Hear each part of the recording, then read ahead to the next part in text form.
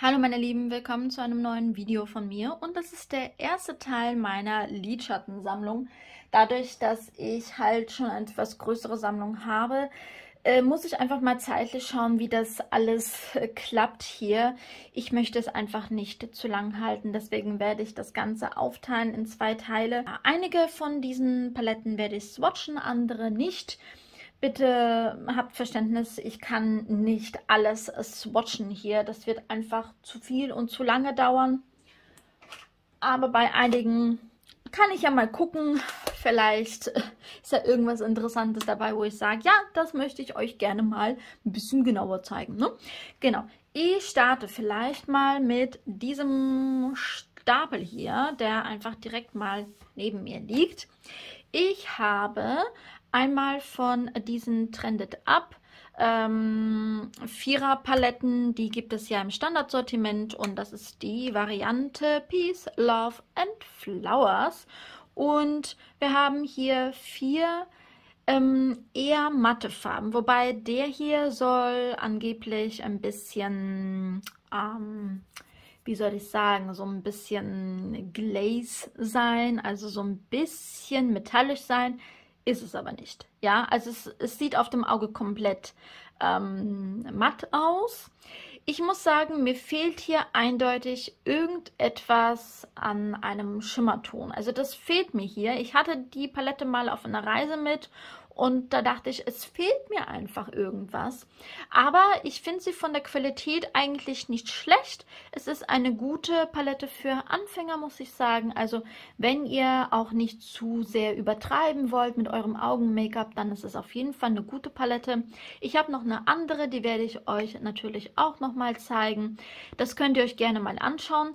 Bei Trended Up solltet ihr allerdings bedenken, dass die gerade die Mattentöne eure ähm, Hautstruktur tatsächlich ein bisschen mehr betonen könnten. Also ihr werdet ganz, ganz feinste Linien, aus denen eure Haut besteht, werdet ihr eventuell ein bisschen mehr wahrnehmen. Da muss man natürlich ziemlich nah rangehen, ähm, um das zu erkennen. Ich weiß nicht, ob das einfach die Haut austrocknet, weil am Anfang sehe ich das eigentlich nicht so stark, erst nach einer gewissen Zeit. Dann habe ich hier eine Palette von einer koreanischen Marke. Ich habe sie euch ja schon in einem Haul gezeigt. Und das ist All of Peach AD. Und so sehen, sieht das Farbspektrum aus. Ich finde es super schön. Das hat mich richtig, richtig angesprochen. Es wirkt sommerlich, es wirkt einfach frisch und das ist genau das, was ich mag was ich an der Palette auch schön finde. Wir haben hier keine dunklen Töne. Ich habe Schlupflider. Ich habe auch etwas kleinere Augen, vor allem Augen, die ein bisschen näher zueinander stehen. Deswegen ist es für mich immer so ein bisschen schwierig, dunkle Lidschatten zu verwenden, weil es meine Augen tendenziell immer kleiner macht. Und da ist es mir immer wichtig, dass die Palette nicht zu dunkle Töne drin hat das habe ich bei der auf jeden Fall. Wir haben hier so einen äh, Topper, der so ein bisschen Duochrom-mäßig ist. Das ist ein Pressed Glitter. Die Palette habe ich bei Zalando bestellt. Äh, die Marke, äh, also von der Marke gibt es halt eben auch andere Lidschattenpaletten. Da könnt ihr euch das Ganze mal anschauen. Ist nicht gerade günstig, ist 22 Euro, 23 Euro hat die Palette gekostet. Aber die Verpackung ist so, so schön, oder? Also es ist, es macht mich schwach. Also das ist, das weckt immer so ein bisschen das Girly in mir. Finde ich richtig schön. Dann habe ich hier einmal von NYX die Ultimate Winted Jean Baby.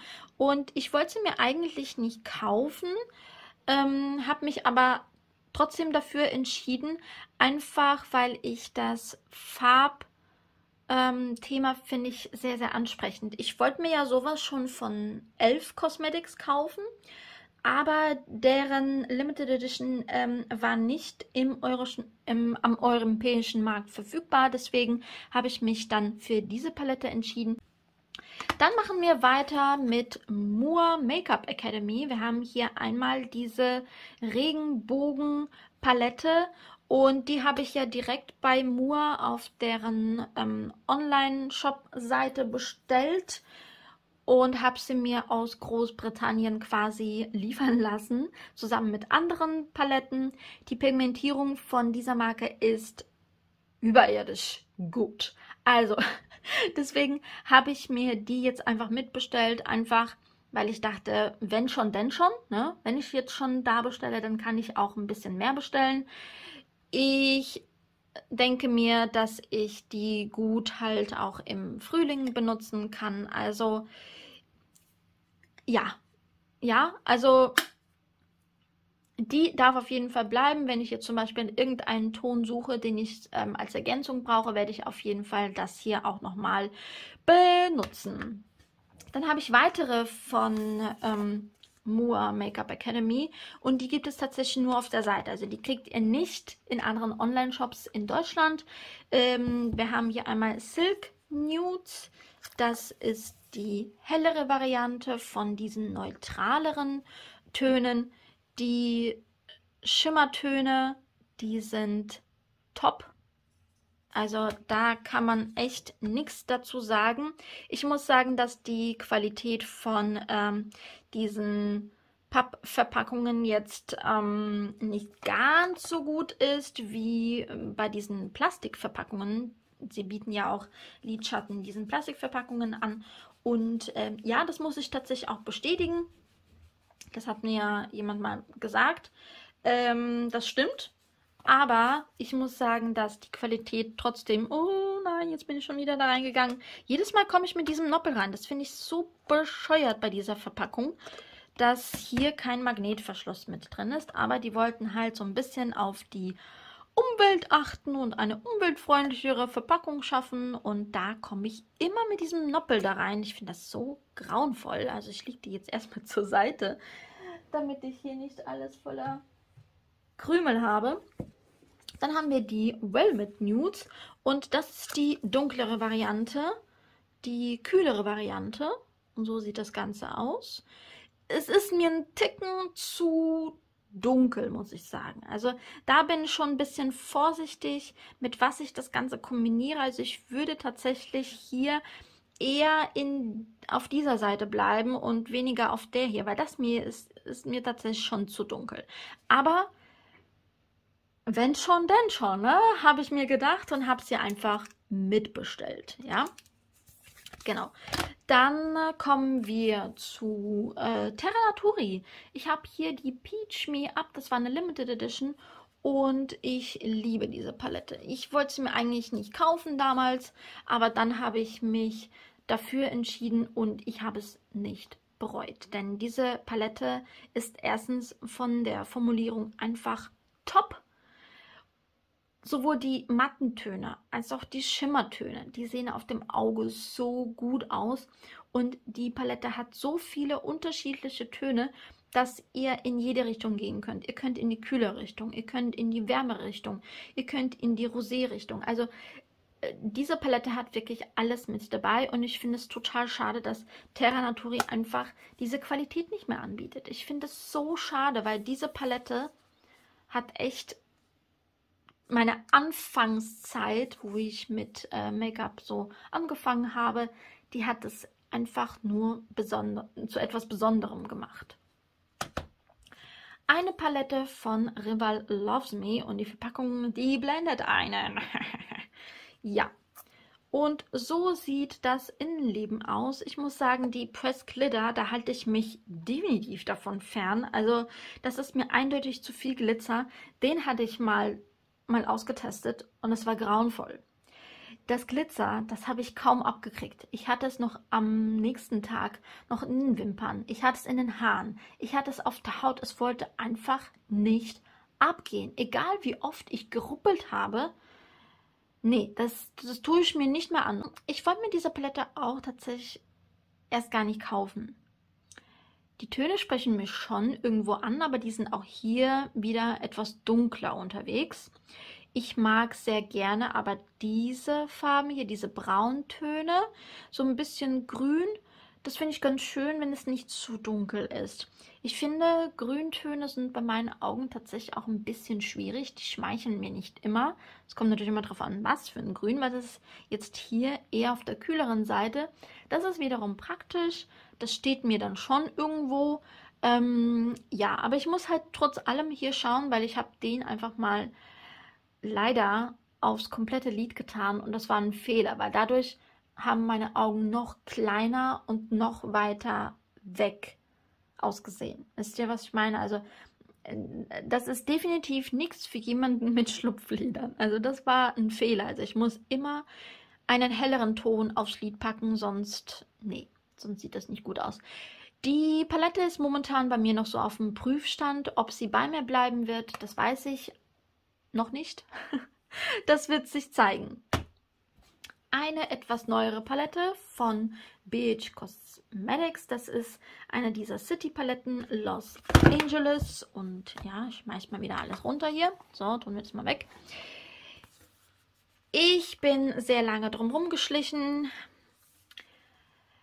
Aber ich dachte mir, okay, jetzt wird es Zeit, einfach mal sich so eine City-Palette reinzuholen in die Sammlung, weil ich habe noch keine gehabt bisher. Und ähm, ja, allein vom Swatchen her war ich so begeistert von den Schimmertönen als auch von den Mattentönen. Der ist richtig krass weiß. Also das ist... Puh, also hätte ich nie gedacht, dass so ein Ton so eine gute Pigmentierung hat. Also top. Was mir nicht gefällt, ist die Anordnung der Pfännchen. Ich habe, wenn ich mir die Palette so angucke, habe ich nicht direkt einen Look, den ich schminken könnte. Also ich müsste mir, mir sehr stark überlegen, was mit was, zu was passt was. Das stört mich hier so ein bisschen an dieser Palette. Aber gut, ich muss mich halt damit so ein bisschen mehr auseinandersetzen. Ja, habe ich aber bisher noch nicht gemacht. Wird aber jetzt ähm, bald der Fall sein, weil wir gehen ja in die Frühlingsmonate, in die Sommermonate und dann passt es natürlich dann. Gut, dann machen wir vielleicht weiter mit diesem Aufsteller hier und da habe ich, wie ihr sehen könnt, ganz viele von diesen Douglas Paletten, aber wir starten hier einmal direkt vorne. Das ist einer von diesen City Paletten von Essence und das ist die Roma Palette. Ich habe eine Schwäche für Rom, deswegen habe ich sie mir gekauft. Und aus dem Grund werde ich sie auch nicht aussortieren, obwohl mich die Auswahl der Farben zwar schon überzeugt, aber ich muss sagen, die Schimmertöne sind sehr schwach. Und die kriegen auch sehr leicht Hardpen. Also ich war da tatsächlich ein bisschen enttäuscht von der Qualität. Ich mag die Farbzusammenstellung. Die ist so schön. Ich liebe das. Ich habe sie im Sommerurlaub mitgehabt. Und die Looks, die entstanden sind, waren schön, aber die haben auch meiner Meinung nach auch nicht so lange gehalten. Das fand ich sehr, sehr schade. Und wie gesagt, Hardpen fast in jedem Schimmerton. Und nee, also... Mh hm also da war ich jetzt nicht so begeistert, aber trotzdem, ich werde diese Palette einfach aus sentimentalen Gründen niemals aussortieren. Dann kommen wir zu einer Anastasia Beverly Hills Palette und ich muss sagen, ähm, ich werde nicht so, nicht so wirklich warm mit der. Ich weiß nicht, woran es liegt. Ich habe auch das Gefühl, dass ich mit der Huda Beauty Palette, die ihr dann später noch sehen werdet, auch da auch nicht wirklich warm werde. Ich weiß nicht, woran es liegt. Was ich an dieser Palette nicht so toll finde, die Mattentöne sind super staubig. Richtig staubig. Die Schimmertöne sind schön. Äh, die Textur ist auch sehr schön und zart. Aber die paar Male, die ich sie benutzt habe, ähm, da musste ich mich schon dazu zwingen, diese Palette zu benutzen. Ich weiß auch nicht, warum, denn wenn ich mir diese Töne so angucke, sollte sie eigentlich mein Herz höher schlagen lassen. Bei der Pigmentierung sowieso. Aber ich weiß es nicht. Ich kann es euch nicht sagen. Ich habe keine emotionale Bindung zu dieser Palette, was ich total schade finde.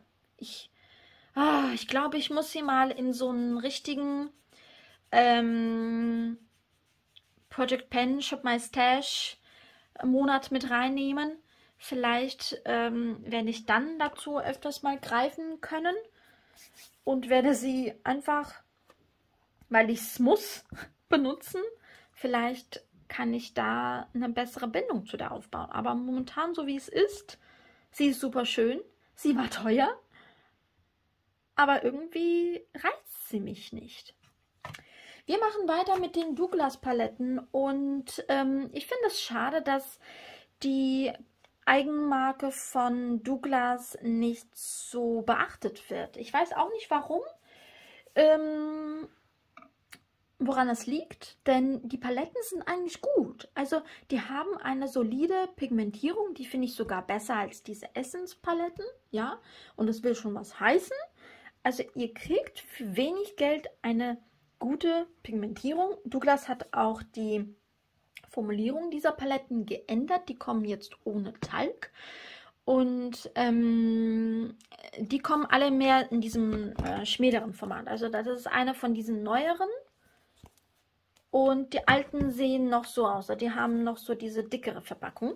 Wir haben hier einmal Desert Nudes. Desert Nudes Mm, wenn ihr euch die Palette so anguckt, könnt ihr meinen, dass es eine Anastasia Beverly Hills Palette ist.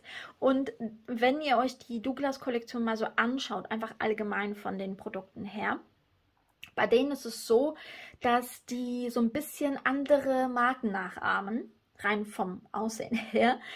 Aber wenn ihr euch die Töne auch so mal ein bisschen anschaut, wir haben hier ähm, etwas neutralere Töne, kühlere Töne, was ich super schön finde und es schmeichelt mir auch sehr, sehr gut. Einfach weil ich vom Hautton auch eher, äh, also vom Hautunterton recht kühl bin und wir haben hier auch eine Rosé-Richtung. Also ihr könnt mit dieser Palette echt viel machen und die Qualität ist auch gut. Vielleicht äh, ist die ein bisschen staubig, aber ich habe damit bisher noch nie ein Problem gehabt. Wisst ihr, was ich meine? Also es gibt einige Paletten, wo mich das richtig, richtig, richtig stört aber bei denen jetzt nicht.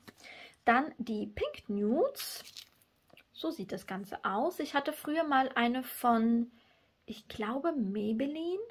Hatte ich eine ähnliche Palette mit ähnlichen Tönen. Aber dadurch, dass sie halt schon etwas älter war, habe ich sie aussortiert und habe mir stattdessen dann die hier zugelegt. Also wir haben hier schon etwas movige Töne und trotzdem aber recht neutral. Ja? Äh, bei dieser Palette hier überlege ich, ob ich sie mir in der neuen Formulierung holen soll, weil die Qualität von dieser Purple Nudes Palette gefällt mir leider nicht so gut. Also da muss ich sagen, haben die, muss ich einen Abstrich machen bei der Qualität. Da war ich jetzt nicht ganz so zufrieden, aber ich mag das Farbschema sehr gerne.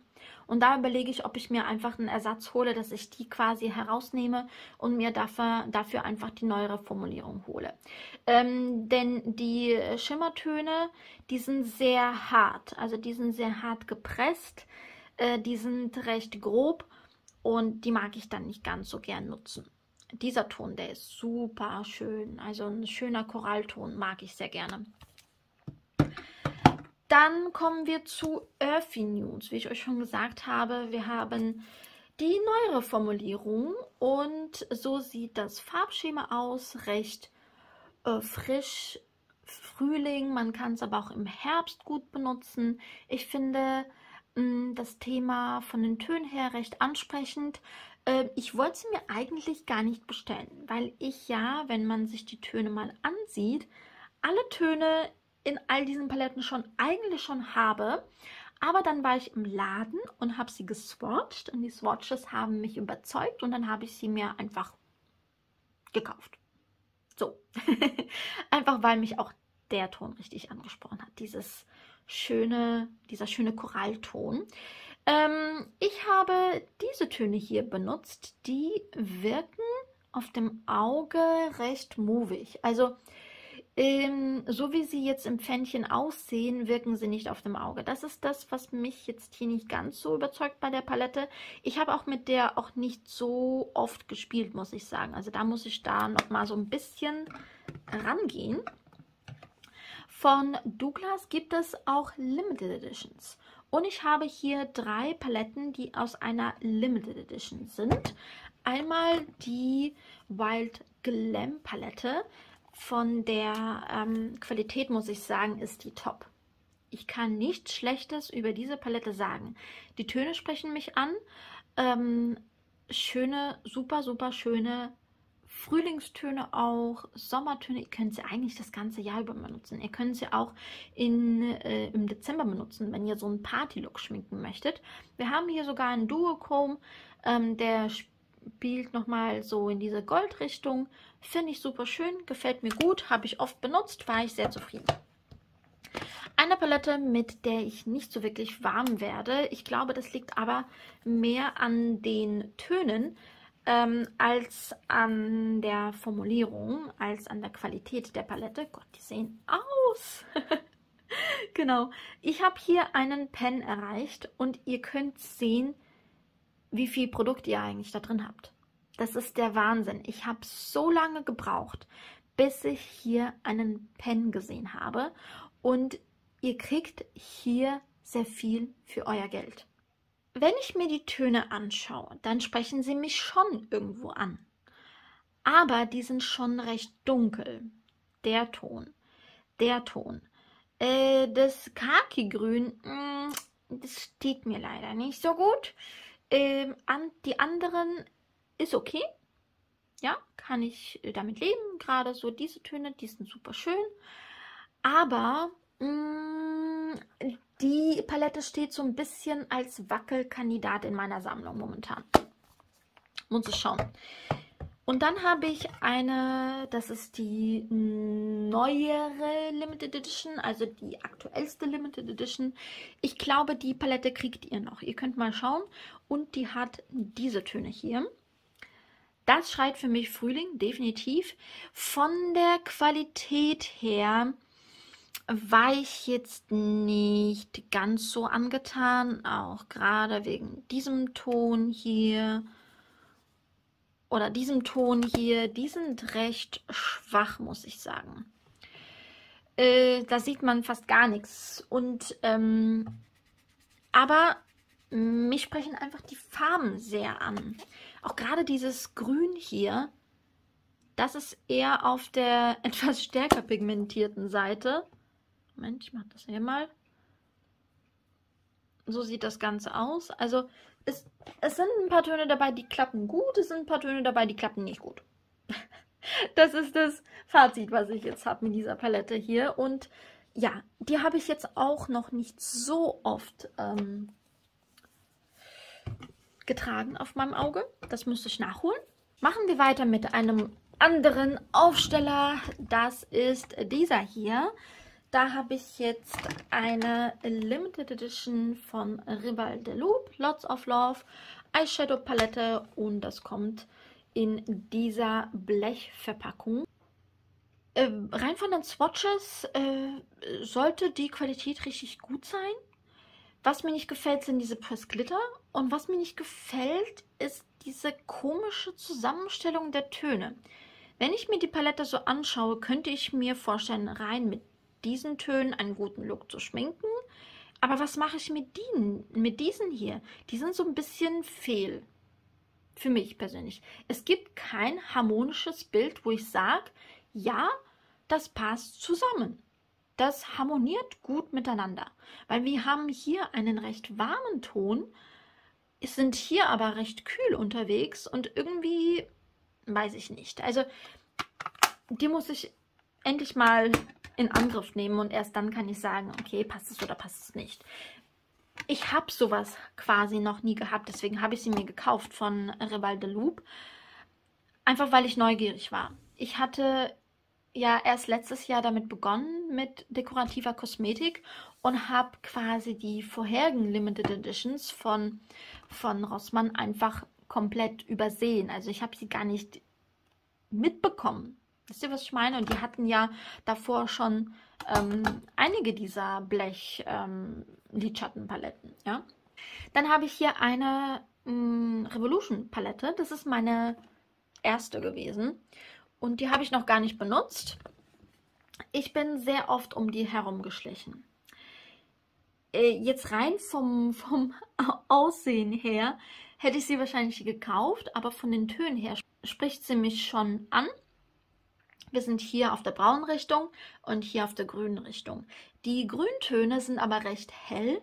Das würde auch gut zu meinen Augen passen. Also wenn die Grüntöne etwas dunkler sind und etwas kräftiger sind und ähm, dann stehen sie mir leider nicht so gut. Da muss ich immer so ein bisschen drauf achten.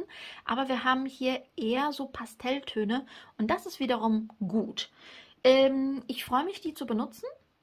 Ähm, ich schaue mal, wie die Qualität ist. Wenn die Qualität mich nicht überzeugt, dann kommt die weg.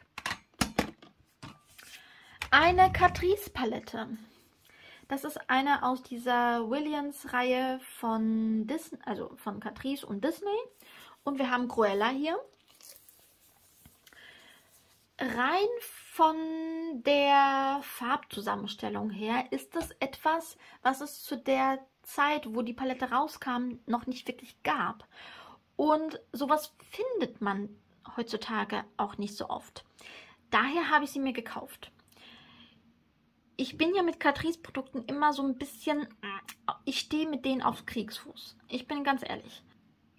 Ich habe diese Palette jetzt ähm, vor kurzem nochmal ein bisschen häufiger benutzt. Ich mag den Ton richtig, richtig gerne. Das ist eine super schöne Formulierung, super schöne Pigmentierung. Ähm, es ist ein feinerer Glitzerton. Äh, bei dem hier allerdings ist das Glitzer eher grob und das lässt sich leider nicht so gut auftragen und es sieht auch nicht wirklich schön aus, muss ich sagen.